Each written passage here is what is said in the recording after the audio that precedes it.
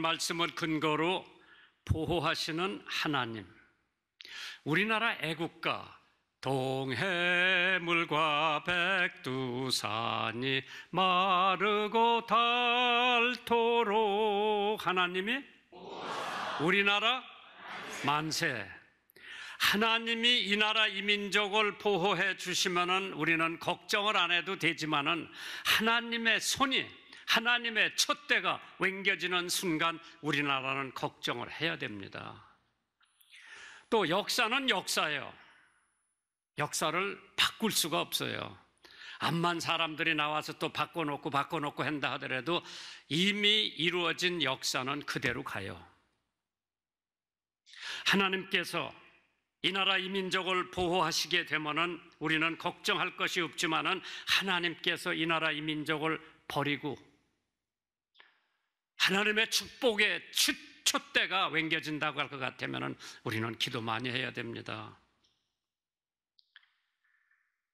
하나님께서 바울을 악당들에게서 보호하시기 위해서 밤 제3시에 보병 200만, 200명, 마병 70명, 창군, 창과 칼을 가진 군인 200명, 그 다음에 백부장 100명을 거느리고 있는 군대 바울을 보호하시기 위해서 470명의 군인이 동원되고 두 사람의 백부장이 동원이 되고 천부장이 동원이 돼서 바울 사도를 보호해서 무사히 로마까지 가서 복음을 전하게 하시는 하나님의 보호가 오늘 여러분들과 저도 보호해 주시는 하나님이신 것을 믿으시면 아멘 하세요.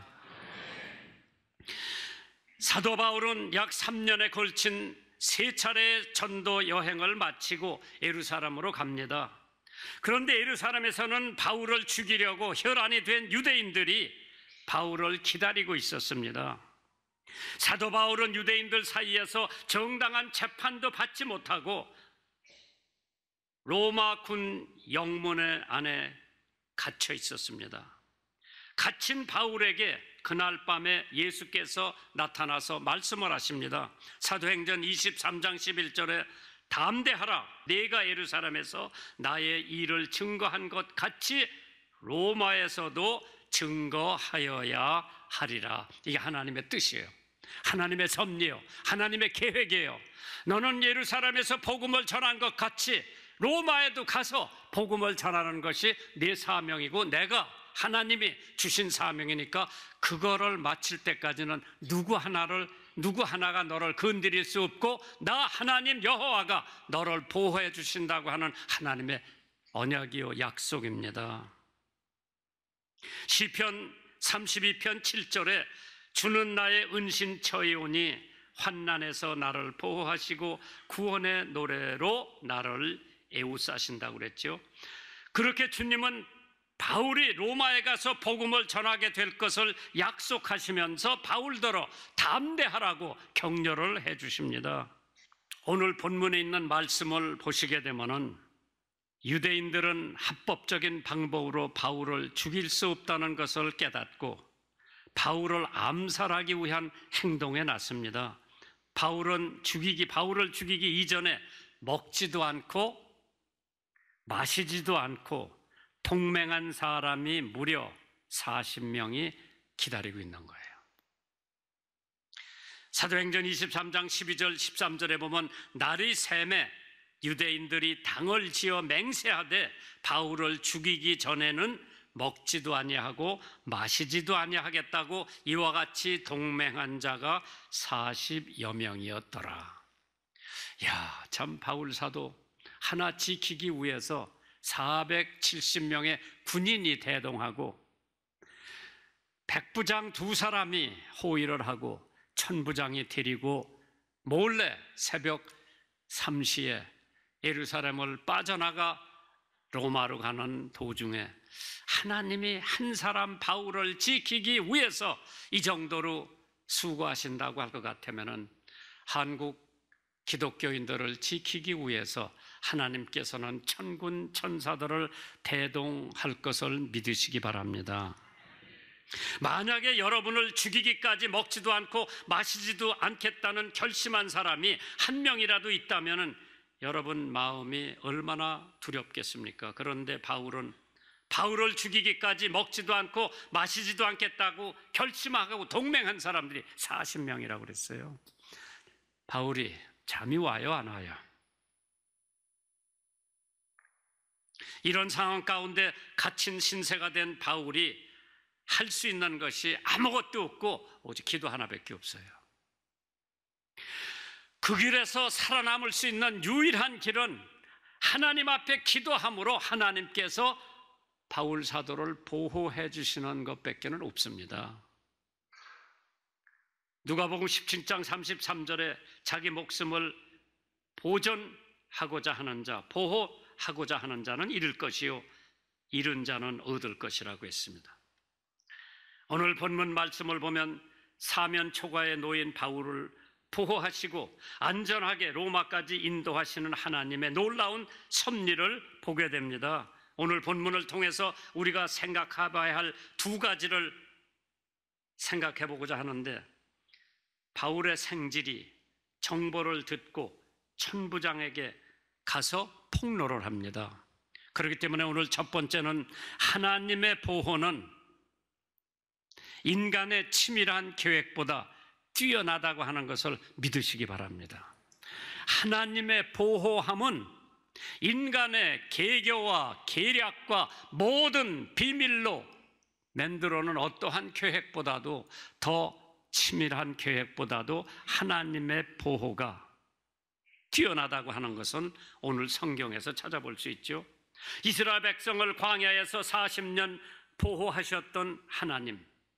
밤에는 불기둥으로, 낮에는 구름기둥으로 이스라엘 백성들을 40년 동안 광야에 인도하신 그 하나님께서 대한민국 백성을 반드시 보호해 주시고 인도해 주실 것을 믿으시기 바랍니다. 잠언 21장 30절에 지혜도 못하고 명철도 못하고 모략도 여호와를 당하지 못하느니라.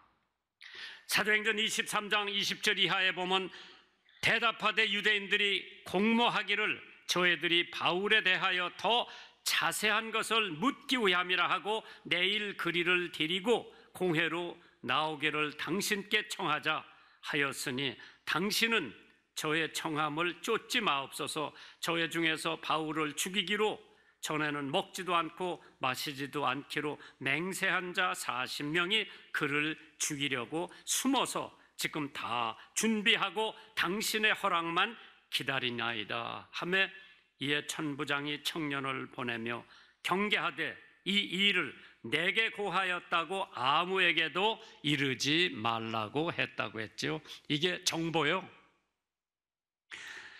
정보를 소유한 사람은 비밀을 가지고 있는 사람은 적이 모르게 보안을 유지해 가지고 하나님의 보호가 성공할 수 있게끔 도와줘야 되는데 나는 바울 사도를 보면서 바울 사도가 결혼을 안 한 것 같이 느껴져 성경에 보면은 생질 생질이면 누님의 아들이겠죠? 생질 조카. 참 똑똑한 조카를 둬 가지고 어떻게 그것을 엿듣고 있다가 백부장 만나 가지고 얘를 데리고 천부장한테 가서 중요한 얘기가 있으니까 그 얘기 좀 하라고 하라. 오늘 본문에 보면 인간의 치밀한 계획과 계략을 뛰어넘는 하나님의 놀라운 섭리와 도우심과 보호함을 찾아볼 수가 있습니다. 바울을 암살하려는 계획은 다음과 같았습니다. 바울을 죽이려는 자들 대제사장과 장로들을 찾아가 요청을 합니다. 우리는 바울을 죽이기 전에 아무것도 입에 대지 않기로 굳게 맹세하였으니 이제 여러분은 의회와 짜고 바울에 관한 일을 좀 더 정확하게 알아보려는 척하면서 천부장에게 청하여 바울을 여러분 앞에 끌어내어 오게 하십시오. 우리는 바울이 이곳에 이르기 전에 죽여버릴 준비를 다 해놨습니다. 그런데 바울의 생질, 누이의 아들, 음모를 듣고 바울에게 가서 알립니다. 바울은 그 생질의 말을 듣고 백부장에게 그 사실을 알렸습니다. 백부장은 다시 천부장에게로 바울의 생질을 안내했고 바울의 생질은 천부장에게 그 사실을 똑바로 전해줬습니다. 바울은 로마 시민이에요. 그 당시에 이스라엘 사람들이 로마 시민권을 가지고 있었던 것은 엄청난 큰 회의입니다. 그런데 로마 시민을 재판하지도 않고 죽인다고 하는 것은 엄청 큰 문제를 안게 됩니다. 그렇기 때문에 몰래 암살을 하려고 계획을 했죠. 그래서 본문 본문 23절에 천부장은 극비리의 백부장 둘을 불러서 가이샤라까지 갈 보병 200명과 마병 70명과 창군 200명을 준비하도록 지시를 합니다. 하나님이 지시한 것이 아니라 천부장이 백부장에게 지시를 합니다. 죄수 신분 바울 한 명을 호송하는데 당대 최고의 로마 군병 총 47명을 동원되는 것은 이상한 일이 벌어진 것입니다. 결과적으로 바울은 최상급으로 경호와 보호를 받게 됩니다. 아마 일국의 대통령이 움직인다 하더라도 470명의 군인들은 동행한 적이 없을 겁니다. 바울 사도는 어느 나라 대통령 못지않게 하나님의 명령을 따라 로마에 가서 복음을 전해야 되기 때문에 하나님이 보호해 주실 의무가 있는 줄 믿으시기 바랍니다. 지금 우리는 뭐 그런 보호는 안 받지만은 우리도 어디 가서 복음을 전할 때 400, 70명이 아니라 500명, 1000명의 천사들이 우리를 호위해서 우리의 목적지까지 가게 할 수 있는 줄 믿고 사는 거예요. 적어도 하나님의 종이 되려면은 그 정도의 경호는 받고 댕겨야지. 470명. 그렇게 해서 바울은 안전하게 가이사라를 가이사라의 호성이 되었고 하나님의 약속대로 로마지 로마까지 가서 복음을 전하게 됩니다. 바울에 당한 모든 위기의 상황에서 하나님은 바울에게 가장 안전한 길을 열어주셨습니다. 유대인들은 사도 바울을 암살하려고 치밀하게 계획을 짰지만은 하나님은 모든 것을 아시고 바울의 생질 백부장, 천부장을 적재적소에 붙여서 바울을 보호해 주십니다. 하나님께 인정받으려면 바울 사도만큼은 안 되더라도 비슷한 하나님의 인정을 받는 여러분들 되시기를 주님의 이름으로 축원합니다. 하나님께서 보호하시겠다는데 누가 하나님을 막을 수가 있을까? 사태가 험악해져도 하나님이 도우시고 보호하시면 누구보다 안전한 줄 믿으시기 바랍니다. 오늘 가족 중에 병원에 가야 되고 암 수술을 받아야 되면 하나님 앞에 맡기세요. 하나님이 의사를 통해서 간호사를 통해서 집도를 해서 암을 고칠 수도 있게 해주시는데 시편 91편 7절에 천인이 내 곁에서 만인이 내 우편에서 엎드러지나 이 재앙이 내게 가까이 못하리로다 믿으세요 천인이 만인이 내 옆에서 쓰러진다 하더라도 하나님께서 보호를 받는 사람에게는 재앙이 내게 가까이 못하리라. 천사를 보내 우리를 울타리 해 주시고 화염 검을 가지고 지키고 있는 하나님의 천사가 여러분들 주변에 나타나지 못하게 하실 수도 있습니다. 빌그램 목사님 아들 장남입니다. 프랭클린 그램이 항공 면회를 얻자마자 비행을 시작합니다.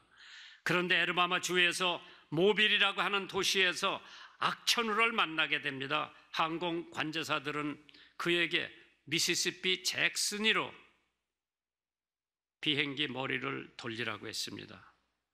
그런데 그가 구름 위로 올라가자 계기판이 깜박깜박 거리더니 통신 장애와 계기판이 불통이 되고 말았습니다. 이제 그는 하늘에서 미아가 됐습니다. 그 순간 프랭클린 그램은 상황이 절박하다고 하는 것을 깨닫고 비행기의 조종칸을 붙잡고 기도를 합니다.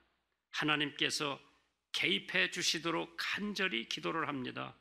그는 기도하는 마음으로 구름 아래로 내려와 착륙할 곳을 찾았는데 멀리 잭슨 미시시피라고 하는 도시에 불빛이 보이기 시작합니다. 그는 빙빙 도는 신호를 보내고 불빛을 향하여 날아가 관제탑에 돌다가 수동 착륙을 시도합니다. 그런데 바로 그 순간 활주로의 비상 착륙 등이 켜졌고 프랭클린 그램은 안전하게 착륙을 할 수가 있었습니다. 그가 내리자마자 비상등은 곧 꺼져버렸고 그가 내린 것을 알게 된 관제탑에서는 다음과 같이 물어봤습니다. 누가 당신에게 착륙 허가를 내렸느냐고 물어봤습니다. 상공을 선회하고 있는 프랭클린의 비행기를 본 사람은 아무도 없었기 때문입니다. 그들이 비행기를 본 적이 없는데 어떻게 비상등을 켰을까? 그들이 조사해 봅니다. 한 관계사가 그 등을 켰다는 것을 알게 되었고 그 관제사는 그때 마침 그곳에 방문한 어떤 목사님에게 통신 장치가 망가진 조종사를 어떻게 도울 수 있는지 대해서 설명하면서 그 비상등을 켰습니다. 프랭클린이 그 등 빛을 필요로 했던 바로 그 시간이었죠. 그 관계사가 관제사가 비행기가 내려오고 있다는 사실도 모르는 채 등불을 켰다는 것을 생각해 봤을 때에 놀라운 사실이고 기적적인 사실인데 하나님은 하나님의 방법으로 하나님의 자녀를 보호해 주신다고 하는 것을 다시 한번 프랭클린 그램은 깨닫게 됐다고 그러죠. 두 번째로 하나님의 약속을 바라보고 기도해야 됩니다. 사도행전 23장 11절에 그날 밤에 주께서 바울 곁에 서서 이르시되 담대하라.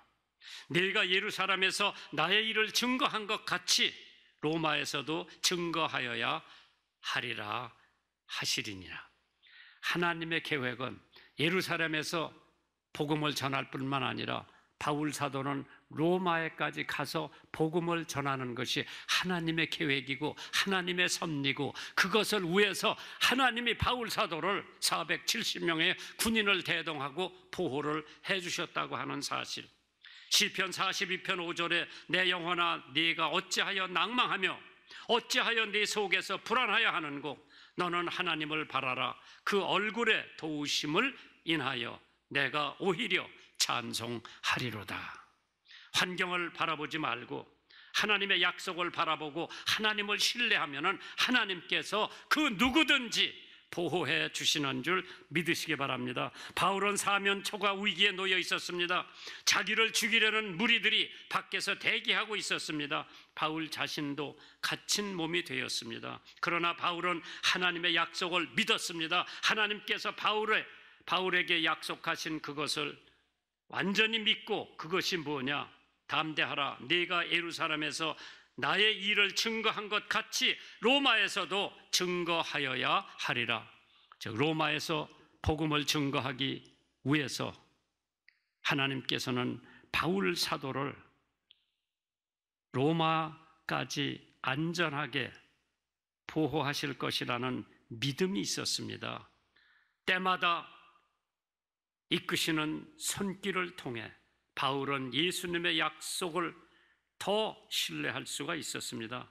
하나님의 약속은 바울뿐만 아니라 오늘 예수 믿는 우리 모두들에게도 동일한 보호를 해 주시는 것을 믿으시기 바랍니다. 그런데 여기 주목할 만한 것이 있다면은 하나님은 바울이 어떠한 방법으로 누구를 통해서 로마까지 무사히 가게 될지는 말씀하지 않았습니다.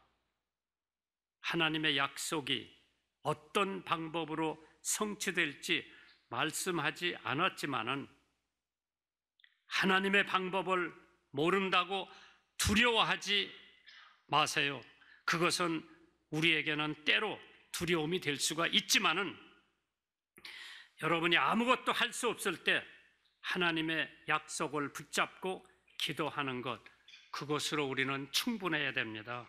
하나님의 때, 하나님의 방법으로 이루시는 것을 믿고 믿음으로 나가서 기도할 때에 하나님께서 우리를 보호해 주시는 줄 믿으시기 바랍니다. 버지니아 주에 잔 영이라고 하는 흑인 농부가 살았습니다. 잔영 부부는 학교에서 교육을 받은 적이 없는 사람들이었습니다. 그들에게는 자녀가 14명이 있었어요. 그런데 화재에도 한 사람 죽지 않고 다 살았고, 교통사고에도 죽은 사람이 없었고, 전염병이 도는데도 한 사람도 전염병에 걸려 병원에 입원한 적도 없었습니다. 그러나 이 부부는 철저히 하나님을 신뢰했습니다. 부부는 위기가 닥칠 때마다 하나님 지켜 주십시오 하고 기도를 합니다. 이 부부는 거실에 가훈이 적혀 있는데 커다란 액자에 걸어놓고 자녀들은 그것을 매일 묵상하도록 교육했습니다. 그 가훈이 뭔가 하면은 이 집의 뿌리는 하나님이시다. 이 집의 근본은 하나님이시다. 그것이 그 집의 가훈이었습니다. 결국 자한영이라고 하는 사람은 자녀들은 단 한 명의 희생자도 없이 성장했고 자녀 중에 코네일 대학 경제학 박사, 음악가, 간호사, 교사 등이 배출되었습니다. 하나님께서는 하나님을 믿으면 고난도 없고 위기도 없을 거라고 말씀하지 않았습니다. 대신 하나님은 하나님의 자녀를 위기 가운데서 지키시고 보호하신다고 하는 약속은 하셨습니다. 시편 121편 5절 6절에 보시면은 여호와는 너를 지키시는 자라 여호와께서 내 우편에서 그늘이 되시나니 낮에 해가 너를 상치 아니하며 밤에 달도 너를 해치 아니하리로다. 이걸 경험한 이스라엘 백성들 40년 광야에서 밤에는 불기둥으로 추우니까 낮에는 더우니까 구름 기둥으로 이스라엘 백성들을 보호해 주셨습니다. 하나님은 여러분과 나를 어제도 오늘도 내일도 보호해 주실 것을 확실히 믿고 기도하면 하나님의 기적을 체험할 줄 믿습니다. 오늘 추석을 지내고 주일입니다. 추석에 하나님께서 지켜주셨어요. 그동안에 예배 없던 가정이 예배를 보게 되고 먼 길을 왔다 갔다 해도 보호해 주시고 하나님께서 어려운 상황 가운데에도 나는 80평생을 살면서 암만 부잣집이고 암만 권력 있는 집이고 암만 잘 사는 집이고 암만 못 사는 집이라도 가족적으로 어려움이 없는 가정은 한 집도 내가 못 봤어. 그러나 그 어려움을 극복하고 하나님의 보호하심을 받고 사는 가정은 많이 봤어요. 하나님께서 오늘 여러분과 저를 오늘도 내일도 어제도 지켜주시고 보호해 주신다고 하는 확신. 모든 게 내 마음대로 내 뜻대로 안 된다 하더라도 언젠가는 하나님의 보호하심이 나타날 것을 믿으시기를 주님의 이름으로 축원합니다.